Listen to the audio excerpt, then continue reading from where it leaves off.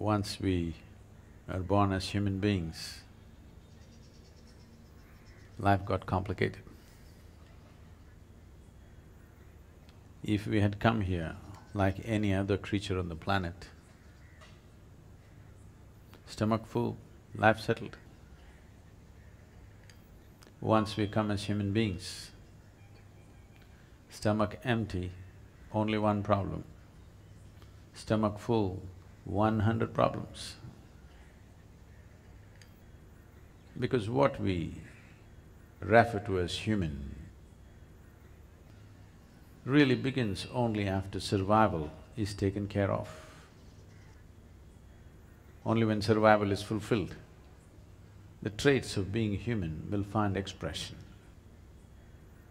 Till as long as we're struggling for survival, we are also just another biological entity like any other creature. So what does it mean to be human? What is the significance? Because every other creature can fulfill almost everything that most human beings are doing without so much fuss. We are born, they're also born, just like us. We grow up with lot of fuss, they grow up with… without much fuss. For us, earning a living is a very big thing, all of them earn their own living. We may reproduce, they reproduce. We die, they die. All this we, we do with enormous fuss, they do it without much fuss in an eco eco-friendly manner. They conduct their life Everything is a big fuss.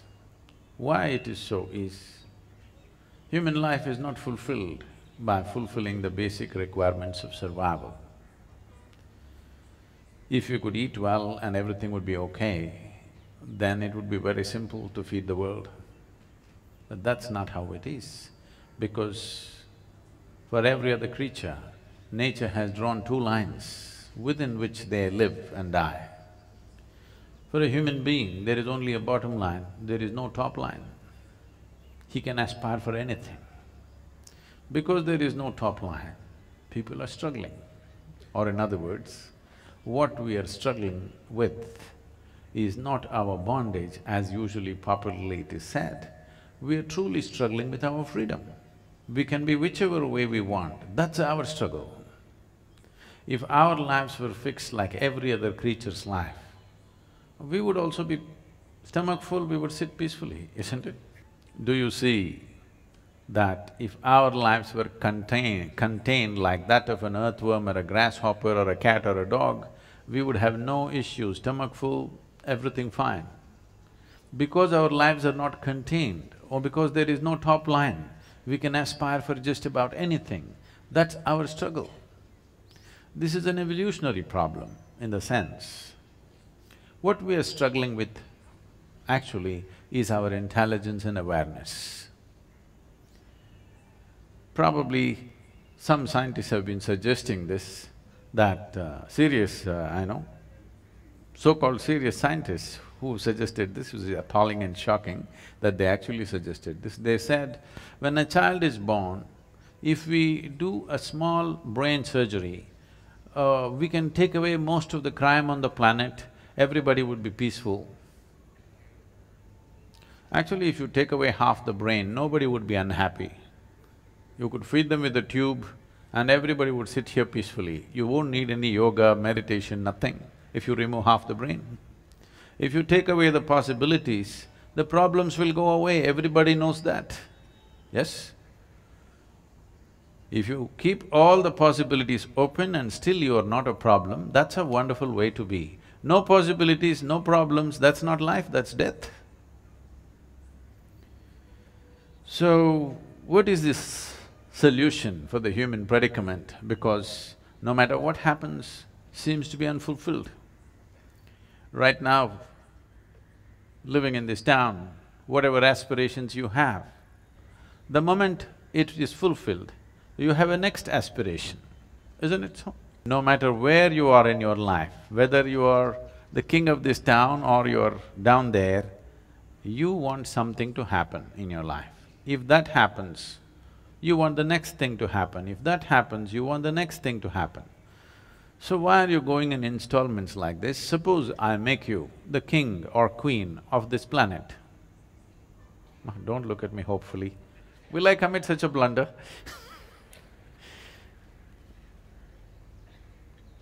Suppose we make the king… make you the king or queen of this planet. Would you be fulfilled? I'm asking you. Would you be fulfilled? No, you would want the other planets and the stars and the galaxies. Because there is something within a human being which is not willing to settle for any boundaries. It is aspiring for a boundless possibility. If you're seeking boundlessness, seeking it through physical means is a hopeless case. Your aspiration is fantastic because if you really look at it, sitting here, if you really look at it, suppose right now you become the king of this planet, you were not satisfied, we made you the king of the solar system, not satisfied, we made you the king of the universe, not satisfied. If you really look at this, what you're aspiring for is infinite nature. Your aspiration is fantastic, but the means is miserable in the sense.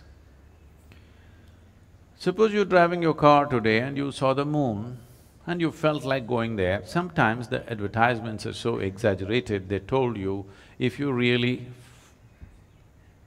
floor the accelerator, it will go to the moon. If you try very hard, you may go beyond the moon, but you will not go to the moon. Yes or no? Because a car is not a suitable vehicle to go to the moon. You need another kind of vehicle to go to the moon. So similarly here, through physical means, we are trying to become infinite. Its aspiration is wonderful, but the vehicle is miserable because the nature of physicality is like this. Physical means it comes with a defined boundary. Only because there is a defined boundary, we can call this a physical body. If I take away all boundaries of this, can you call this a physical body if it is everywhere? Physicality means the fundamental nature of physicality is a defined boundary. Without a boundary, there is no physical nature. But right now, there is something within you which is constantly aspiring to break the boundaries. Just look at yourself and see. Suppose we imprison you in a five by five cubicle, you will be very miserable. Tomorrow we announce your liberation and release you into a ten by ten cubicle. It will be wonderful for a day, but again you'll feel miserable. Then day after tomorrow we'll release you into a hundred by hundred cubicle. You'll feel great for three days, again it's the same thing. What I'm asking you is, it doesn't matter how big the boundary is. The moment you realize there is a boundary, you want to break it. Yes or no? This is the nature of the human being. It doesn't matter, all kinds of pacifist philosophies have been taught, be content with what you have, don't aspire for more than what do you know, do not all kinds of things. It's not worked for a single human being. It only works when you're sick or when you're dying. You're sick and down today, today if I tell you, you should not aspire for anything, be satisfied with what you have, you will say, yes, anything is okay, just get me well. Tomorrow, you're… once again the energy is back, hmm, ready for something more, yes or no? Only when you're beaten and down, then these philosophies will work. For a… for a healthy, living human being, these philosophies of be happy with what you have doesn't work. Now, does it mean to say a human being has to be eternally in turmoil, eternally in struggle? No. What we do in terms of our aspiration is just this. Essentially, nothing is going to fulfill us unless we touch a boundless state. And boundlessness is not going to happen within the limitations of the physical. When I say within the limitations of the physical, right now your whole experience of life is limited to the physical. See, your experience of life right now is happening because you can see, you can hear, you can smell, you can taste and you can touch. This is the only way you know that you're here, isn't it? It is through five sense organs that you're experiencing everything. These five sense organs cannot perceive anything other than physical.